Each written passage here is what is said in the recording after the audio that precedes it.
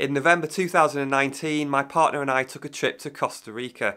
After a couple of days in San Jose, largely to get over the long flight, we travelled to the Caribbean side to Puerto Viejo. We briefly returned back to San Jose to take a trip to Tortuguero before picking up the hire car and driving to La Fortuna. After a few days in La Fortuna and Arenal, we drive down to Monteverde before the final leg of the trip, where we drive to the Pacific coast to stay in Puntarenas. So here we are at Puerto Viejo. We're staying at the Banana Azul. Very, very nice place.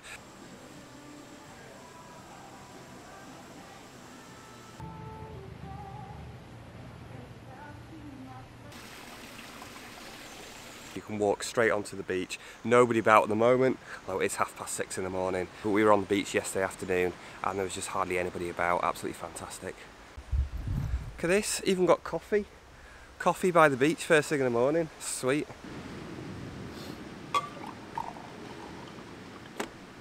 As I say, you literally just step out and you're pretty much straight onto the beach. And if you want to walk into Puerto Viejo, as we did yesterday, we can walk all the way along this beach into the town behind me. So we're kind of in a, in a cove, a big bay at the moment. If you walk to the other end where you can see the bit of land that looks like it's sticking out, that is uh, that's the centre. So a leisurely walk along the beach probably take you maybe half an hour.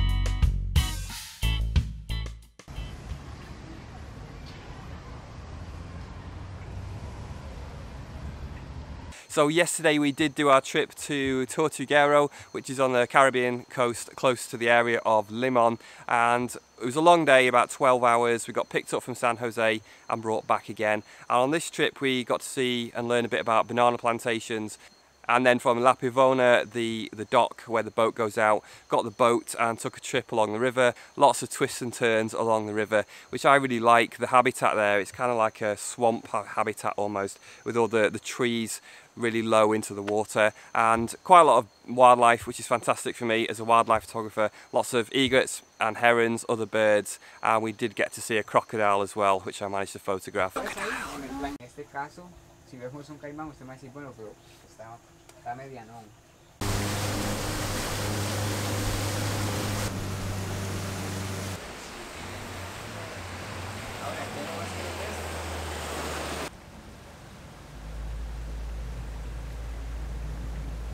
it was like the worst rain imaginable. That's pretty much what we had. So if you go on that trip do be prepared for very wet weather.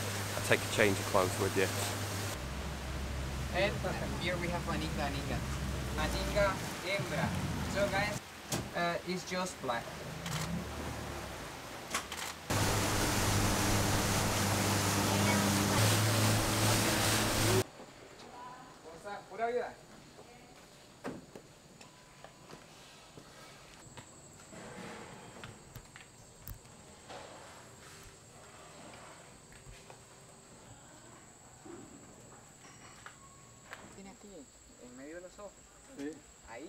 He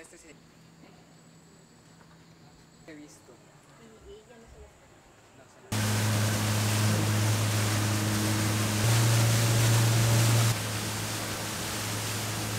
Really well organised trip, and excellent guide as well. So we're now in the region of Arenal, the volcanic region in Costa Rica. Uh, we drove from San Jose in the hire car. Uh, we did stop along the way, so it probably took us about four hours in the end. But I'd say we did stop for something to eat in La Ramon, which is a really good place to stop. There's tons of restaurants and uh, you get something to eat there. Um, plenty going on in that town. But here we are close to La Fortuna, which is about 20-30 minutes drive away. We're staying at the Las Iguanas Resort, which is absolutely fantastic. Uh, would definitely consider it luxury. Loads of room, loads of space here. Uh, kind of like an outdoor shower which is interesting and a hot tub over here as well and this area is famed for the uh, the big volcano as you can see there really nice and clear view of the volcano so yeah, I think we've had like one really good view of the volcano when we first arrived. There's there's always really low cloud there, so generally speaking, you have to wait a little while to actually get a good view of it.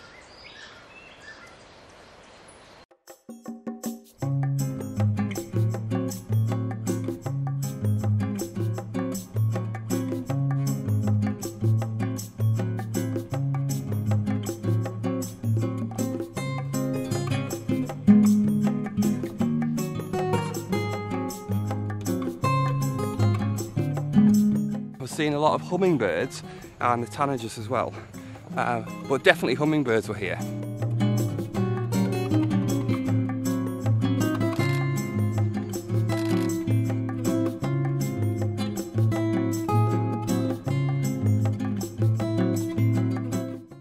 So today we went to La Fortuna waterfall, which is one of the main hotspots in this region. And I think it took us about half an hour to drive down there from our hotel here Las Iguanas.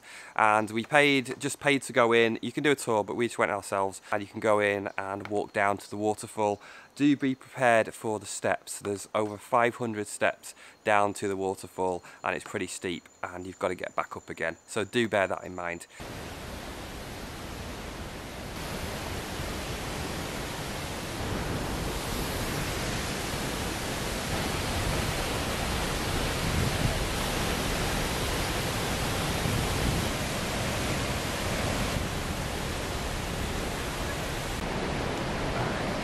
Many steps did he say there were? 500.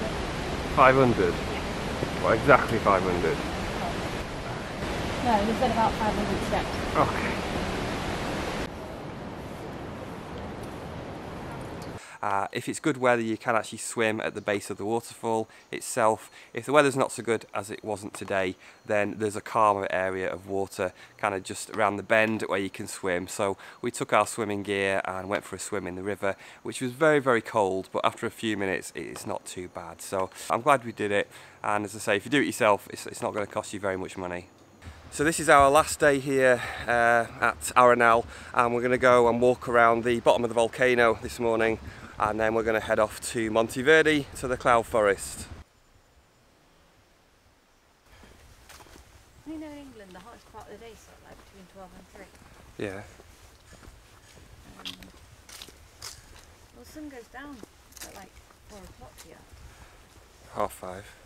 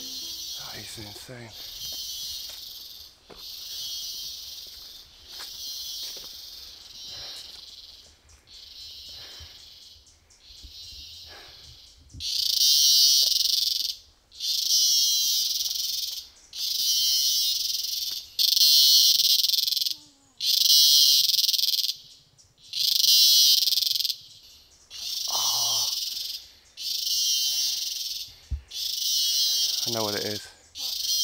Quiet because it realises it's been spotted. Maybe.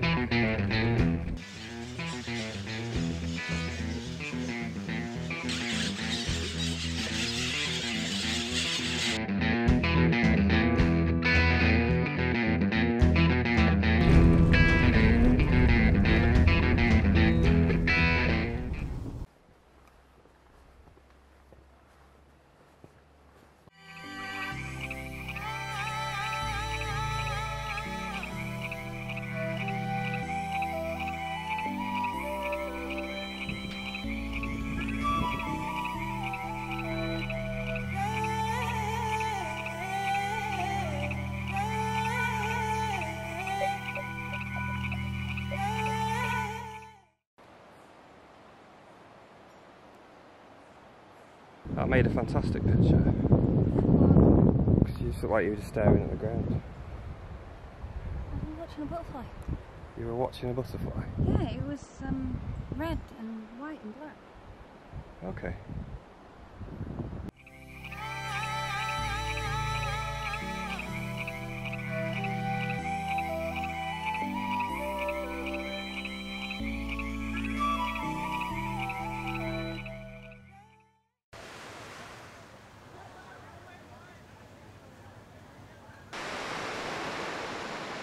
So we are coming towards the end of our trip now, coming towards the last leg of the journey and the last two days have been a, a bit of a blur really. We, uh, we spent one night in Monteverde and that was so that we could uh, go and do the, the zip lining and the hanging bridges. The hanging bridges, anyone can pretty much do that. It's just a round walk about three kilometres with eight bridges in there to cross. Uh, the zip line I think you need to be a bit more adventurous, uh, not for everybody that one. Uh, it was a bit of a case of facing your fears really, including the Tarzan swing, which was definitely, uh, which is definitely facing my fears to do that one. So we're now on the Pacific coast, the Pacific side of Costa Rica, and we're just down from Jaco. I think it's Herradura. I'll put it up on the screen. And the hotel that we found, we were going to stay in Manuel Antonio, uh, but the hotel there looked a bit out of the way, so we actually decided to change hotel to this one, which is the Punta I'll put it up on the screen, I can't remember the name, Punta something, and I've got really good access straight onto, onto the beach here. This beach here is actually really good for swimming, it's really nice and calm, uh, unlike the beach further up at Jaco. Uh, but we're going to go to another beach tomorrow. We're going to take the shuttle from the hotel and down to the beach, which is supposed to be really good for snorkeling, which I enjoy. So Gonna hopefully tomorrow gonna be doing some snorkeling, maybe even some kayaking as well.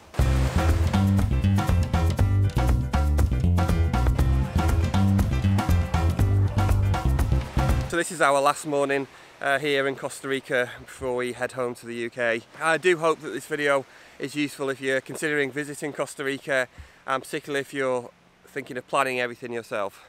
Um, hopefully you've enjoyed the experiences along the way as well.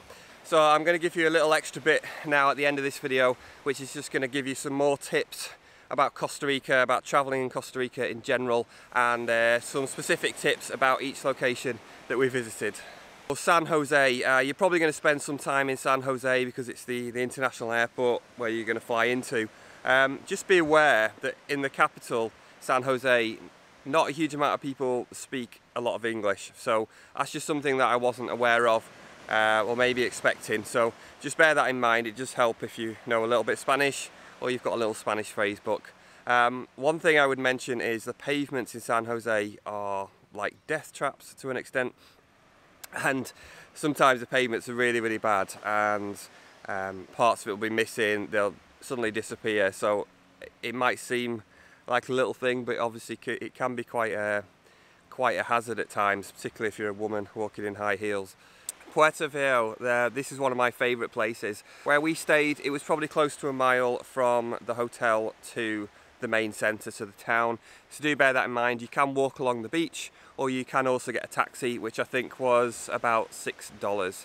Um, the, the sea there is absolutely fantastic. So if you enjoy nice warm sea, then that's, that's the place for you. The sea was surprisingly warm.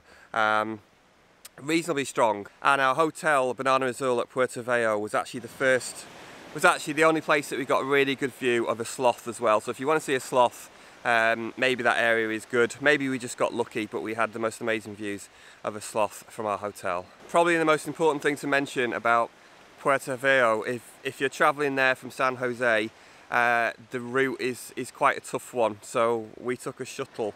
When we took it, they were actually doing the road. So they were widening the road, which caused um, a massive amount of traffic and hold-ups so it put a lot of extra time on your journey. So it took about five and a half hours from San Jose to Puerto Viejo in in this minibus. Was quite uncomfortable and I say the journey it was quite a tough journey really. And then obviously you got to do it you know we had to do it back again. La Fortuna and Arenal uh, we really enjoyed this section of the trip. So we drove from San Jose in our hire car and uh, we stopped along the way um, in San Ramon which is it's, it's, quite a big town and there's loads there. There's plenty of restaurants and places to eat so you can stop. Good place to stop off. Uh, gas station as well. Yeah, we stopped for about an hour and it probably it took us maybe around four hours, maybe a bit longer to get to uh, our hotel in Arenal. And the route is pretty windy, so once you get off the main road, you've got a very windy route. You definitely want to take it take it slow. Uh, we went to La Fortuna Waterfall, which was definitely one of the best experiences of the trip. It was $15 or $18, something like that per person. And you go in and there's, there's lots of facilities there, which is great. So you've got a reasonable sized car park. Uh, you've got, um, you've got toilets. There's a little gift shop as well. And there's a, a cafe where you can get lunch, drinks. And the waterfall, you have to walk to the bottom, uh, which is over 500 steps and then over 500 steps back up. It is really tough. You need a reasonable level of fitness um, to do that. And also it might be raining, which it was when we arrived, which is potentially going to make uh, the steps a little bit slippier as well. We went into some hot springs as well, um, which they call it hot springs, but basically it's like um, it's a hotel with heated swimming pools is what I've described it as. So if you're after that experience, natural hot springs, then um, check, look into it a bit more. Um, there are free hot springs, so along the main road, kind of between La Fortuna and Arenal, uh, you'll see a load of cars and you'll probably see people walking up in their bathrobes. So there are some free springs down there, but um, it's up to you whether you do them. Uh, we were advised not to do it because potentially cars could get broken into and stuff like that, but I don't know, I think there's actually some people there sort of guiding the cars in, like stewards, so I think it's probably reasonably safe. But yeah, you do actually park pretty much on, on the main road, on the side of the main road, and then go down some steps. So if you want to do free springs, you could check that out. Um, Arenal, the volcano, you can do walks around there. You can't actually walk up the volcano, um, that's illegal I believe, but I, th I think there's about three trails and they're along the bottom um, kind of through lava fields. And then there's another trail which is, uh, I think it's called the Pinnacle, where there's a really good tower, really high tower where you get the most amazing view and the best view that I've had of the volcano. So you'll kind of go to the main entrance to get your ticket and then that gives you access to those walks around the bottom or to the, the pinnacle area where we went. Monteverde, uh, we only spent one night, almost like one night in a day there really. We had to change our plans a bit and we just went there specifically to do the zip line and hanging bridge tour. Monteverde was quite an interesting place. Um, it, it, it's not a big place but there's enough places to stay, enough places to eat etc. It, to me it, very, it felt very crammed, um, everything felt quite crammed in. Uh, it can be very difficult to park there, all the cars, a lot of the big 4x4s are all sort of parked along the side of the road so that can be difficult. Um, I get the feeling that it's more like a, more like a destination which it is really a destination for those adventurous activities. So I think people who are there are really going for that or more kind of backpacking. It has that feel to it. Um, so we only stayed one night did the zip lining tour. Zip lining yeah I definitely recommend it. I think after after about three or four zip lines it all pretty much feels the same to me. I don't really need to do another eight or whatever it was. Um, the Tarzan swing, that was different, so that was well worth doing, and that's a little bit different from the rest of the zip lines. Uh, if you're adventurous, definitely give that a go. And the hanging bridges, I think as I said earlier, anyone can really do that. Uh, from our hotel, we, we stayed at a B&B called Cala, Calathea, or. Uh, definitely recommend that. It's very, very modern, not been there very long. And from there, we, we, uh, we did the trip. We got an organised trip, so we got the transfer in the bus and it took, um, I don't know, a good half an hour probably to get to the adventure park where you actually do the zip lining. And there are facilities there, toilets, places to eat and everything that you need. And that brings me to the last place, uh, which is here, which is on the Pacific coast. We managed to get a booking here at Punta Leones, which is a big resort. So if you come here, it depends what you're after really, but it is like a big, almost like a seaside resort. You've got access to a private beach and you've got, um, I think, three restaurants and you've got various activities. The beach here is absolutely beautiful. Further up at Jaco, the beach is very, very strong. Probably not advisable to swim in there unless you're a very strong swimmer, but it is fantastic for surfing, which is probably why most people go there. Here, this beach is, it's still pretty strong, but it's perfectly fine to swim in. It, it does feel a bit different to me here on the Pacific on the Pacific side of Costa Rica as opposed to the Caribbean side. I would say on the Caribbean side I just felt uh, it was a little bit more relaxed and generally speaking I felt people were a, a bit more friendly. The food and the drinks overall I felt were better on the Caribbean side. Food in Costa Rica I've had some of the best food I've probably eaten. I do enjoy my food. Uh, Serbia I've had some of my favourite food but Costa Rica I've really enjoyed the food. Obviously like anywhere you're going to get some places where it's not so good but on the whole the quality of the food is fantastic because everything just tends to be really really fresh. Uh, if you enjoy meat and rice you're going to be happy. There, tacos, casado or burrito, all that kind of um, typical Costa Rican food is usually very very good. Again if you if you look for the sodas, S-O-D-A sodas where the locals go, they tend to have the better food and also some fantastic fruit drinks not like um, really artificial but made with uh, real fruit, natural fruit drinks which are fantastic. If you're looking for somewhere to eat in San Jose that's quality, not too expensive, then check out El Barroco Loco. I think I said that right. Really good, really good food. Uh, prices, if you live in the UK, then I'd say the prices are very, very similar to the UK. So if you're getting some lunch, maybe you get it for about uh, seven or eight pounds for a reasonable dish obviously you can get little snacks cheaper than that. And in the evening uh, it really it really depends where you're going. The grackles are so noisy. Uh, it really depends where you're going but you could get something for you know 10 in terms of dollars 10 maybe 10 12 dollars. Or if it's a bit more expensive you could be paying around 20 dollars for more of an upmarket restaurant. So it totally depends where you're going driving in Costa Rica, are you going to hire a car? Um, I was a little bit apprehensive about it and you read a lot of things about various um, various issues on the roads in Costa Rica. Um, it, wasn't too bad in the end, but if you're going to hire a car, you just you need to keep your wits about you. You will get things appear in the road. You will get obstructions you're not expecting. You will get traffic jams. You will get people walking in the road, people standing in the road selling things, bikes, uh, various animals might appear, fallen tree trunks. We actually saw those things, almost every one of those things on this trip. And the main thing is that people just don't seem to indicate. So I don't think you need to indicate in Costa Rica. Just don't, just don't do it. Um, so the, the cars will probably slow down and you wonder what they're doing. It's just because they're turning, but they're probably not indicating. The, the most difficult part of driving is probably San Jose. So getting in and out of San Jose we used an app called uh, Waze, W-A-Z-E, really, really good on the whole. Kind of got it wrong a couple of times, but generally it was really, really good actually. Uh, it's the first time I've used a, a sat-nav like that. And yeah, San Jose is very difficult. Um, even if listening to the GPS, just for the nature of the traffic um, and some of the driving that you encounter, around San Jose. It's, it's definitely not the easiest, definitely a bit stressful. Once you're out onto the open road, the roads themselves I think are excellent, decent roads and traffic's usually not, not too bad.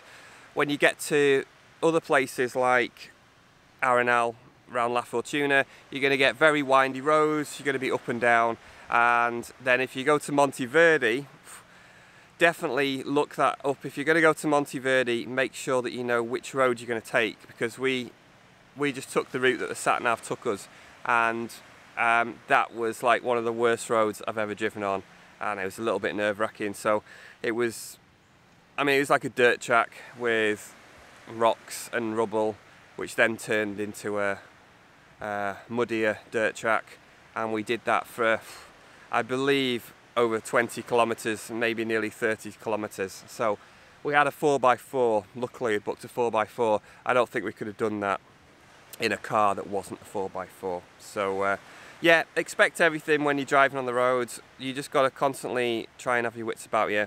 Keep your concentration uh, but if you do that you'll be fine. Uh, we've had so many experiences. I don't know which ones are going to be the best memories but so many experiences so many memories seen so many things thanks for watching. I'll see you next time